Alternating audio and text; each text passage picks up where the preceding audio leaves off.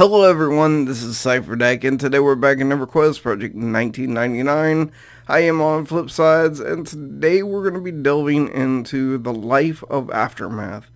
Today there was, or yesterday rather, there was an earthquake, and I was able to be a part of not all of it. I didn't have a VP key, I, I didn't have, um, or I don't have the health or equipment or levels to be able to do a lot of the TOV mobs. Uh, of course, they can do the ones that are are pretty easy, the West TOV, that kind of stuff.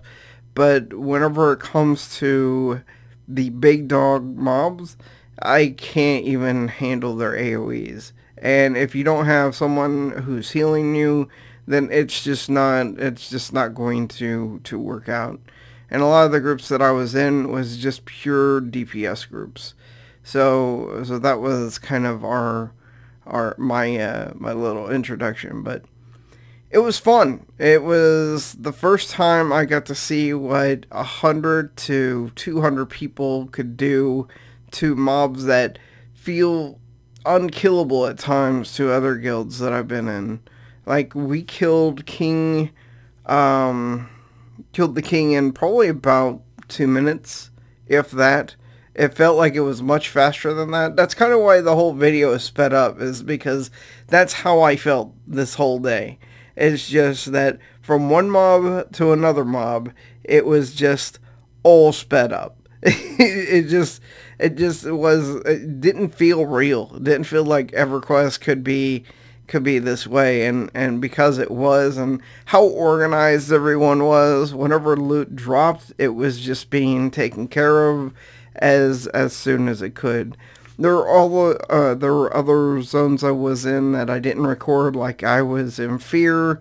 We did uh, two Dracos and we did the uh, did Cazic Thule I thought that was pretty cool because I've just never fought him before uh, we took out two, maybe three of the golems.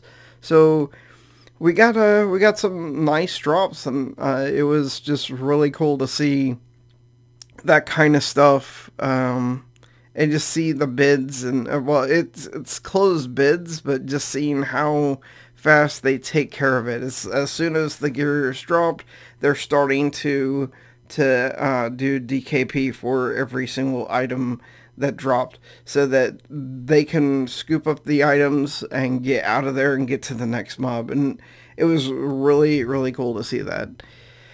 But yeah, I, I just wanted to do a video showing you guys some of the mobs we ended up killing. We killed the Avatar of Fear um, pretty quick, though around 15%. I stopped seeing the mob's health go down, so I ended up turning my tech off because they said enraged, and I didn't see it. I didn't see the mob enraging.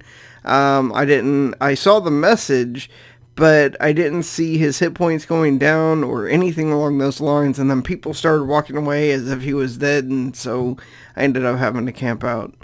So uh, just really, really cool in that per, uh, that perspective. But it's um it's an interesting adventure, and I think I'm going to enjoy it a whole lot, especially after seeing this. Now, there are going to be lulls and downtimes, but those are times that I need to really work on getting levels, just because of the fact that even with um, 131 MR, 120 poison resist, and about 110 cold resist, I still um, I still get owned uh, by the AOE. So definitely the gear will help uh, that kind of stuff. So that's that's what I'll be working on most.